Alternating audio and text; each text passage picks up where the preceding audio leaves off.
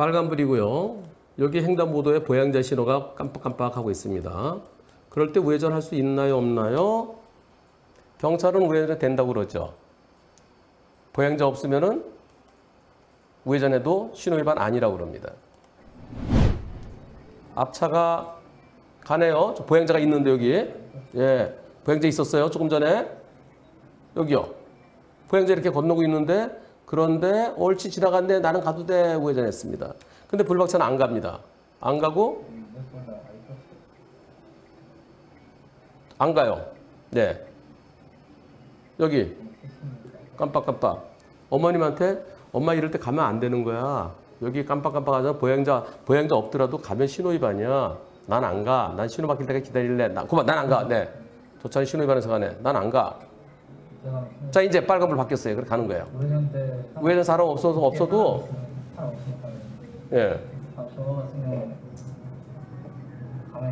가면 신호 위반이죠. 예 이분은 한문철 TV 어, 방송을 보신 분이에요. 뭐야? 뭐야? 뭐 하는 거야? 아, 예, 죄송합니다. 여기서요. 이렇게 여유 있게 다 여유 있으시니까 천천히 시야를 넓게 보시면서 그런데 저기에 서 있던 저 사람 있는 거 잘 안 보이겠죠? 안 보이는데 후다다 뭐 뭐야 뭐 이거 뭐야? 저 뭐지? 여기서 여기에서 와 요거 요거요 귀에 꽂는 거 에어팟? 어. 그, 그거 그거 그거. 그거 떨어진 거 주술라고. 어 큰일 날 뻔했어요. 예. 아 요거 요거 차가 밟고 지나갈까봐. 아 이거 주술 주술라고 죄송합니다. 네, 정말 죄송합니다.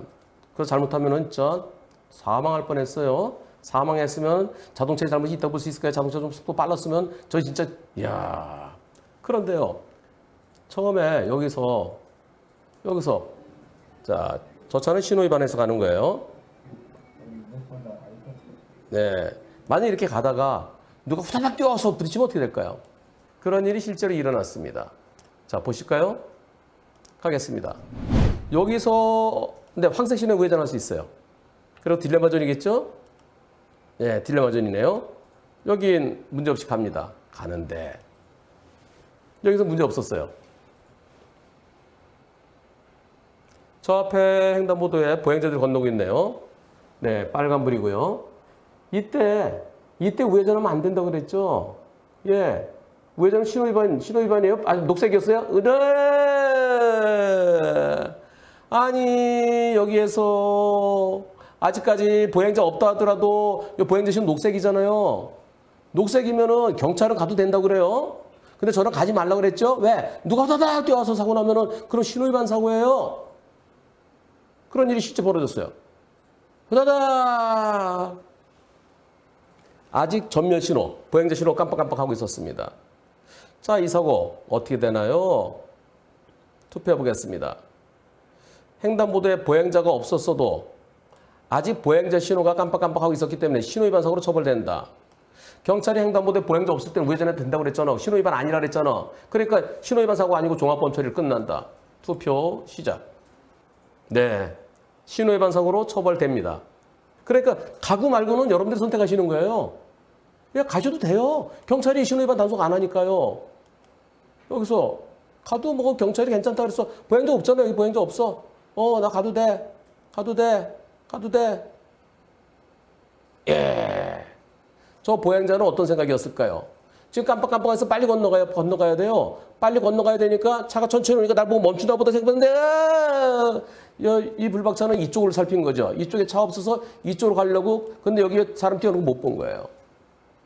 불박차 운전자분께서는 아니 저기 저 저 내 차를 보고 옳지 요럴 요럴 때 요럴 때 보행자 우선이라는 걸 알고서 일부러 뛰어든 거 아니야 일부러 일부러 일부러 일부러 뛰어든 건 아닌 것으로 보여집니다.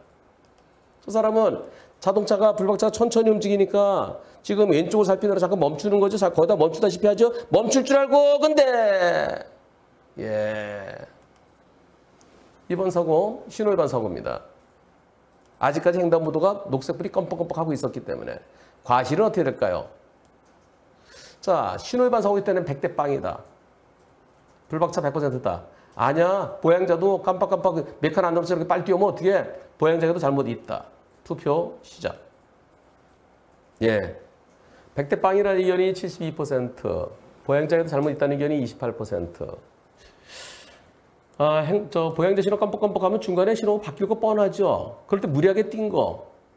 그리고 어, 거의 끝나갈 무렵엔 자동차도 좀 슬슬슬 움직이는 경우 있잖아요. 슬슬슬슬 움직이는 경우인데 뛸 때 무리하게 예. 저는 저런 경우 보행자에도 일부 잘못이 인정돼야 옳겠다는 의견입니다. 깜빡거릴 때 깜빡거릴 때 뛰는 것은 이런 사고가 일어날 수도 있어요. 중간에 신호 바뀌어서 출발하는 1등으로 출발하는 차랑 부딪힐 수도 있고요. 지금 같은 사고가 일어날 수도 있습니다. 제 개인 의견이에요. 여러분들은 72%가 백대빵 의견입니다만은 보행자도 처음에 녹색 신호일 때 깜빡거리지 않을 때 그래서 백대빵입니다. 그리고 깜빡거리기 시작했어도 시간이 많이 남았다 그러면 그래도 백대빵 돼야 되겠죠. 지금 메카는 안 남은 상태래요. 그래서 보행자에도 일부 잘못 있겠다는 의견입니다.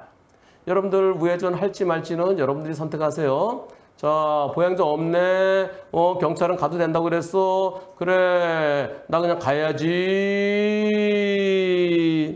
지난번에 이런 사고로 12주 진단 나온 게 있었어요. 이거랑 거의 똑같은 사고예요. 그 사건 종합범에 들어있는데 형사합의가 안 돼서 1심에서 금고 6월을 선고받고 지금 항소심에 가 있답니다. 우회전 할지 말지는 그 판단은 여러분들의 몫입니다.